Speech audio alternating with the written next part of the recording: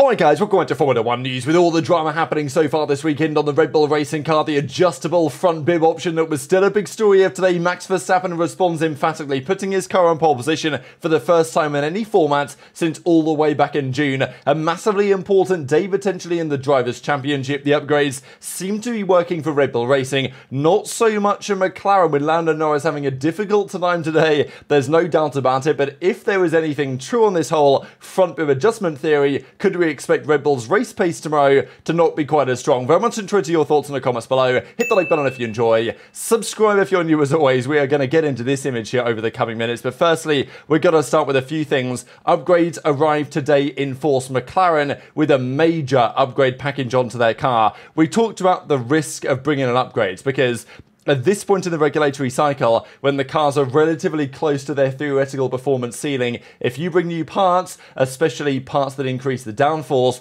what's that going to do for balance, especially with one practice session on a circuit which is still bumpy in places difficult to put together a car which is going to be spectacular everywhere and that may well have been what McLaren struggled with today but it's not like Red Bull also didn't bring their own set of significant upgrades because they most certainly did. But McLaren had seven new parts on their car and um, they only had one of the new front wing specs available. So uh, I think they both used it during FP1 and then it's gone on Lando's car. And we've got to talk about Piastri as well because that was a bit of a disaster class today. Now, Mercedes also with some major upgrades, and look, their car today was quick enough for pole position.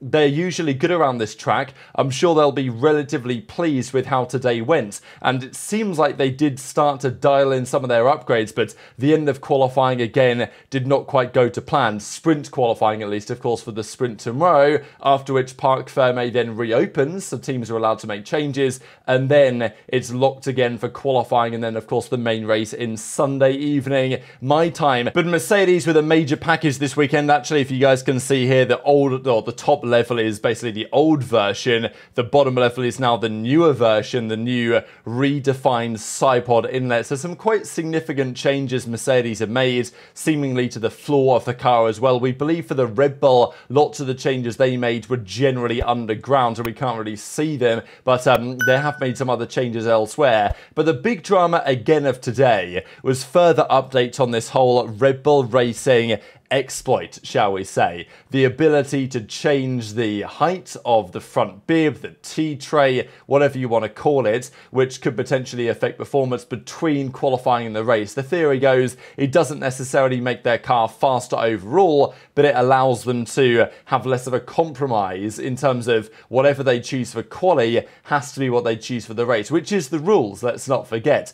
Red Bull say nothing like this was happening, it's a complete non-issue, and it may well be but um, the question, of course, from the other teams, and especially McLaren, that have made this very clear today, is that, well, if they have that tool, how can we be sure they haven't been using it in this way? And even Zak Brown was being quite clear that when Red Bull said, oh, well, you know, it's inaccessible, this device, when the car is put together, inaccessible doesn't necessarily mean inoperable. And that was kind of like Zak Brown basically said they chose their words quite carefully. We'll get to that in a second. But um, yeah, Lando Norris says it's one thing having it on the car, it's obviously another how you might exploit this. But today, an article by Speed Cafe came out explaining what they believe and what basically is required to operate this um, adjustment. So the key drama really is the fact that every other team on the grid, to make this adjustment, it's done outside outside the car, probably on the bottom of the car somewhere. Someone, you know, puts a tool in, they make a, an adjustment, and that changes the ride height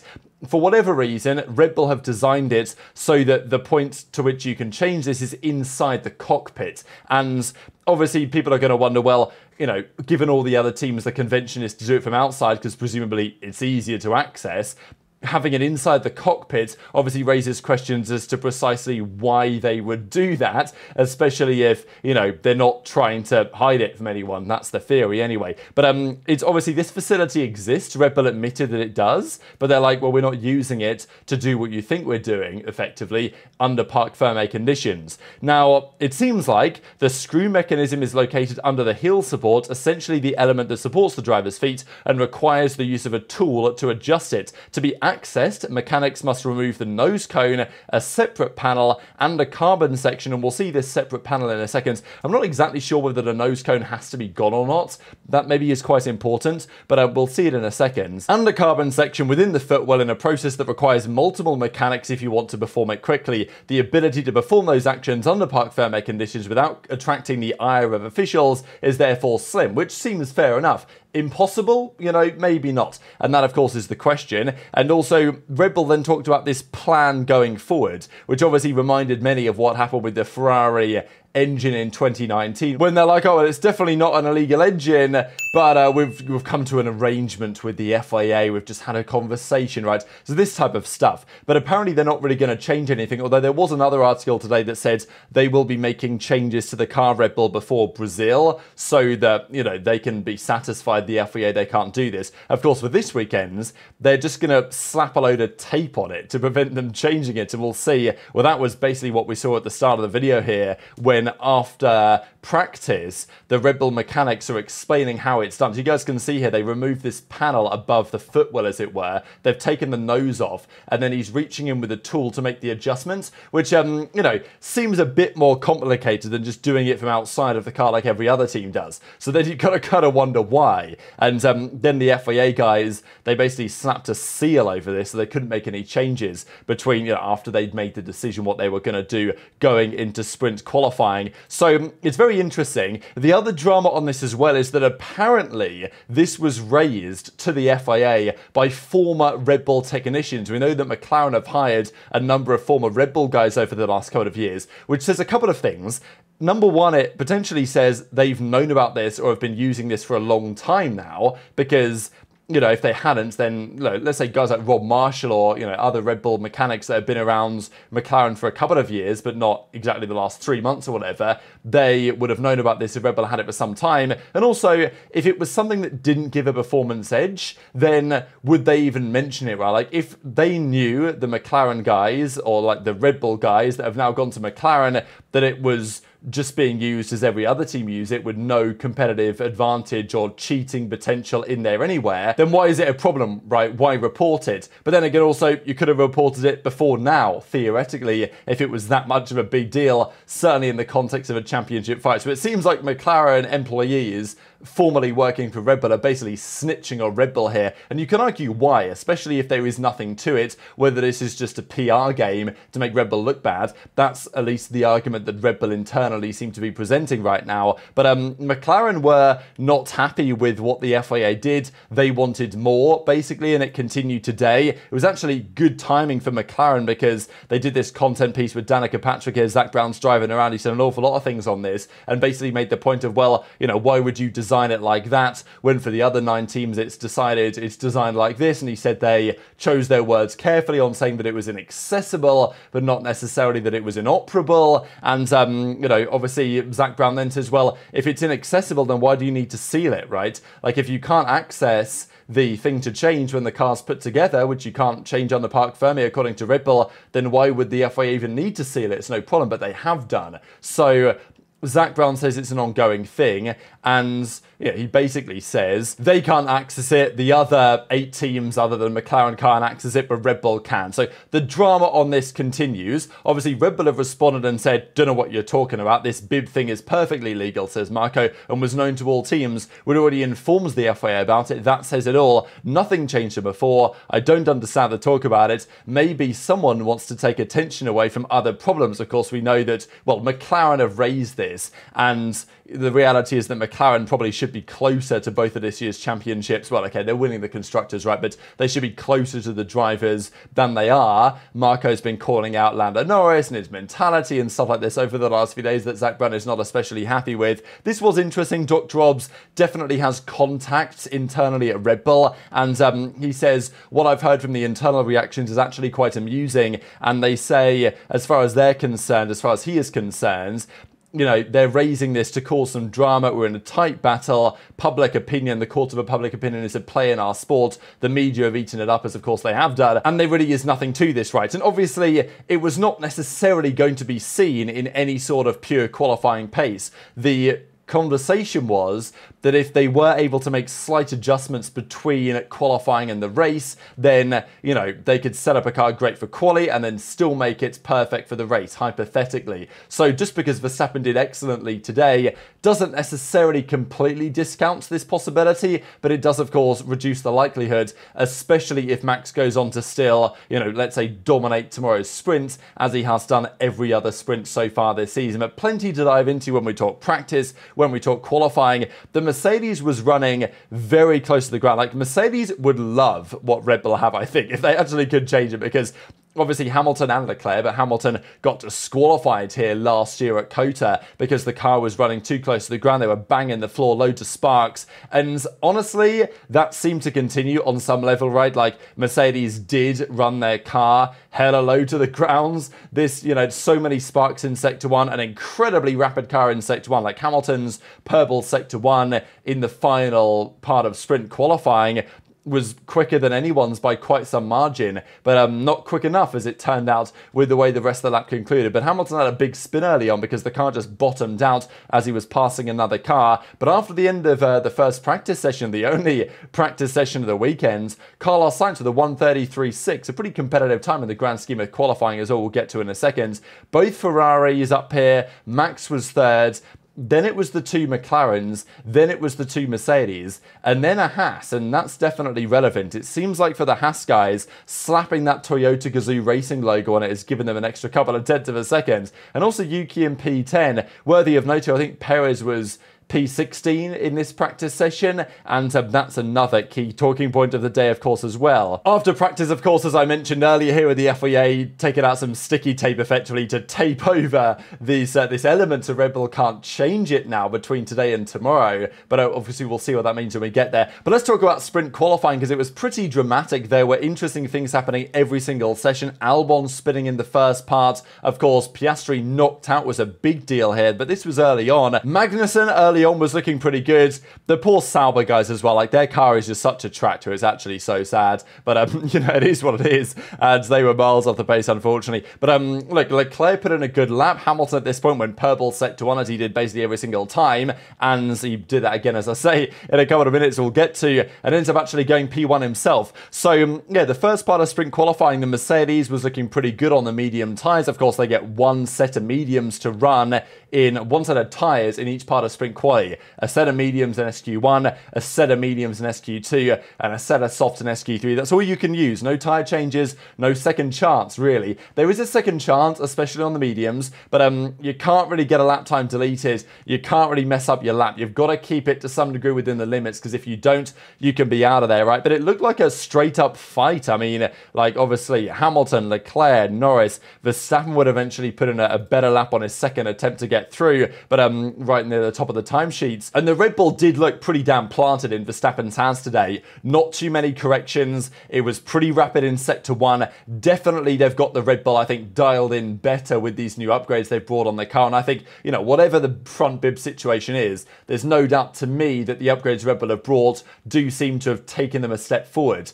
The McLaren upgrades, not so much. Their car seemed like a real handful, and even though Norris was still putting in good laps and Piastri was occasionally, it wasn't consistent enough. I mean, Piastri was like three or so tenths down on just Norris in sector one, and that's confidence, a lot of it, especially if the car isn't so um, you know good underneath you. In the final corner, Piastri then goes wide, gets his lap time deleted, gets all out of shape, and ends up 16th and out of SQ1. So this is what we were talking about with McLaren, right? I theorized that yes, they would bring their upgrades, but it's always a risk because they held off on some of these upgrades for some time because they weren't sure if they were going to deliver. And honestly, they the upgrades they brought might still be great, and McLaren might still be the fastest car. But of course, when you've got one session of practice to set it up, a brand new raft of upgrades, it's incredibly difficult to get that bang on. And clearly, McLaren haven't done so. Now, after sprints, after the sprint tomorrow, obviously Parc Ferme reopens going into quali. So it's possible that tomorrow night after quali we're having a different discussion on the McLaren, but right now it wasn't looking great. And after SQ2, as I say, Sainz puts in a good lap, Verstappen puts in a good lap, but it was looking competitive. But Perez, he was the big talking point, right? Obviously in SQ1, Colapinto got through and Albon didn't after his spin at the end of the lap, but Perez only P10, basically a second here off Max. He was talking about lacking grip, and Perez just super struggling to get anything out of the car, and guess who would go on to knock him out of sprint qualifying too? If you guys didn't watch qualifying and are just using this video to recap, then I'll give you a few seconds to guess. The answer, of course, being none other than Yuki Tsunoda, who comes through with a 134 flat and a couple of tenths ahead of Lawson, which is pretty impressive just because Lawson has like a 60 place penalty for the race on Sunday because he's taken all new engine parts. And obviously, you know, Lawson brand new engine, Tsunoda not a brand new engine. So you'd think that'd give advantage to Liam to some capacity. But um, no, couple of tenths Tsunoda puts on him, couple of tenths he puts on Perez and knocks Perez out of qualifying. So, you know, big deal as ever. Colapinto, though, what a performance continuing on from him. He gets through to SQ3, and these were your drivers there, including the Haas drivers. One of the big dramas, though, was this. And Mercedes decided effectively you get one lap. I mean, they fueled up for only one lap. The tyres are only really capable of delivering one good lap. I think in Hamilton's case, they probably would have liked to go again, but I just don't, I believe, according to the radio messages, they just didn't have the fuel. So, because Hamilton obviously made a mistake on his lap here, we'll discuss in a second, and I think he would have wanted to go again because he probably could have done better even on the same set of tyres, but just wasn't fueled, it seems, to make it possible to do another run. But again, Colapinto through, both Hasses through was like super cool to see how that turned out. But um, yeah, Hamilton was rapid in the first sector, Mega, obviously, um, well, sector one, and then crucially, Colapinto spins off ahead of him, and the yellow flag comes out as Colapinto spins off into turn 9, turn 10, whatever this corner is. I think that affects Hamilton's braking zone. It may not have done, it may just have been a distraction because Colapinto was like sitting right here as Hamilton was coming to the corner, gets it a bit wrong, locks up a little bit, manages to save it, but um, loses like half a second in that corner, right? And even Mercedes tweeted out, has to lift for a spinning Williams on his run, and that spoiled his lap. So, um, yeah, and I think that was, I think he had to lift and then he messed up the corner anyway. So he lost half a second there, half a second in the final sector because the, the tyres weren't so happy with him. And um, yeah, Hamilton went from being a few tenths up on Russell after the first sector, looking great for pole position actually. Mercedes looked really strong before then it goes wrong. Now, to be fair to Mercedes, it seems like on some level they got the call right to send the guys out early because it's pretty rare. Usually SQ3, they just all wait for the final two minutes, send their guys out and do the one lap they have. Whereas Mercedes said, we don't think there's going to be much track evolution here. We're just going to send the guys out right now. Of course, as it turned out, they got Hamilton in this window right behind the Williams, which ends up costing him pretty badly. So, um, yeah, that was maybe just unfortunate, but it still doesn't paint the, light, the best light on Mercedes, right? Obviously, Hamilton was like, you know, what are we doing? Can we not go again? But there was no time to refuel in the end. And taking advantage of that situation, Max Verstappen again was the cream rising to the top. I mean, we've not talked, we've talked a lot about Max, obviously, but, you know, I think it's days like this that show just the class of driver that he actually is, especially in a car that's been here, there, and everywhere over the last few weeks. They've put an upgrade on, and he's back on some sort of pole position for the first time in a while. Leclerc, Norris, Sainz, none of them really put in a great lap. Hamilton, of course, will be gutted that he ends up down in seventh, despite the fact that he knows he easily had a good enough lap today for pole position in there for the sprint tomorrow. But yeah, Norris will be thinking, damn, not the car performance they were looking for at all. A couple of tenths off the pace, not where they've been at all over the last few rounds. What a result from a Hulkenberg as well. Three tenths three and a half tenths off pole in a Haas in P6. Like, that is so good. And, um, you know, just super impressive what Haas are capable of doing here. Both cars into SQ3, super exciting story. But, uh, yeah, Maximilian Verstappen back on pole position. Of course, he was buzzing about it as well, and for very good reason. And I think Max will be very confident indeed after today that this is going to be his driver's championship. The big debate is are we going to see anything tomorrow that indicates that the drama of the last couple of days has actually got some footing in reality? So, very much intrigued your thoughts as ever on all of this stuff in the comment section below. Hit the like button if you enjoyed, subscribe if you're new, take care, and I'll see you next time.